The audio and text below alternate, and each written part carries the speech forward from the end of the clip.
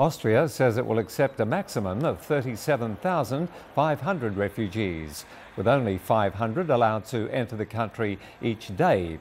The refugees are required to hold qualified travel documents and plan to stay in Austria or Germany.